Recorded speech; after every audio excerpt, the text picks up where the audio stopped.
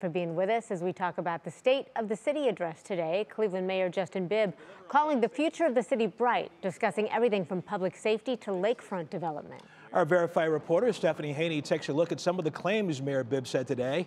But we begin with our Kaitor Kay, who was at that address in Playhouse Square. This is how we solve cases and save lives in our city. Cleveland Mayor Justin Bibb declaring public safety as his top priority in his State of the City address Thursday, giving credit to his RISE initiative, raising investment in safety for everyone for hundreds of felony arrests and scores of guns taken off the streets. Homicides were down last year for the second year in a row. And since the pandemic, homicides have decreased by 14 percent. The mayor said Cleveland government has fallen short when it comes to protecting renters from absentee landlords, which is why last month city officials passed Residents First, a comprehensive housing reform package which in part closes loopholes that predatory landlords have been abusing. Today, whether you live in New York or Belgium, to rent property in our city, you have to identify an actual human being who lives in the county to be held responsible for the property. Predatory landlords have been getting a free ride in Cleveland.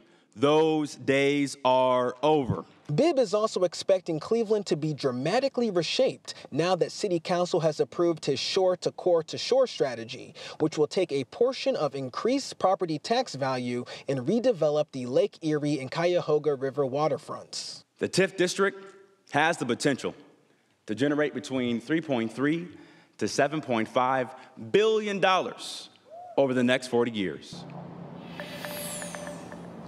Many in attendance wondered if the mayor would address recent talks by the owners of the Cleveland Browns in their decision to either renovate the stadium downtown on the lakefront or build a completely new one out in the suburbs. But the mayor didn't make any comments on that today. Russ Christie. All right, Kaitor, thank you so much. We appreciate it. I want to get to Stephanie Haney now as well to verify some of those things uh, not just that he said, but that actually happened inside the theater today, right, Stephanie? That's right, Christy. Yes, a few things came up during Cleveland Mayor Justin Bibb's State of the City speech today.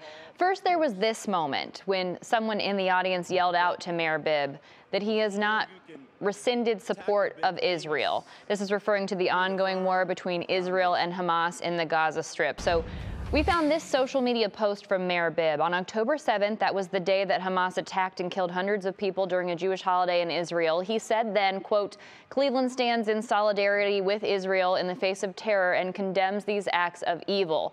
Now, we did reach out to Bibb's team today to make sure we didn't miss anything from the mayor between then and now. So we're calling the claim that he hasn't rescinded support for Israel unconfirmed for now. Now, next, during a speech, Mayor Bibb said that with 52 new cadets just welcomed into training at the police academy, quote, this class is larger than the previous four classes combined.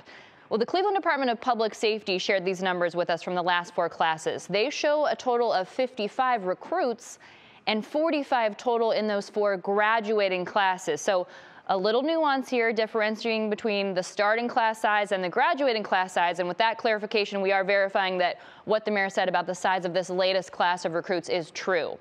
Now, last year, as Kaitor touched on, the mayor said this about homicides in the city. Homicides have decreased by 14%. 14%. And our homicide solve rate is currently close to 80%. Now, the Cleveland Department of Public Safety told us homicide rates dropped from a 180 in 2020 to 154 in 2023. That's defined by the National Incident Based Reporting Systems, or NIBRS. So, yes, that is a 14% decrease since the pandemic. Now, they also told us last year the homicide unit resolved 125 of 154 homicide cases for an almost 81% solve rate. So we can tell you there that the mayor was right on with those numbers as well. And we want to remind you if you see a claim from someone and you want us to verify whether it's true or false, you can email us that at verify at wkyc.com. You can also text us at 216 344 3300.